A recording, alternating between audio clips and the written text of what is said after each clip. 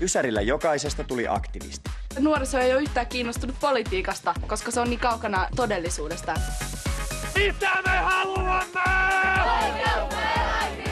Turkiseläinten elämä ei ole elämisen arvoista niillä tarhoilla.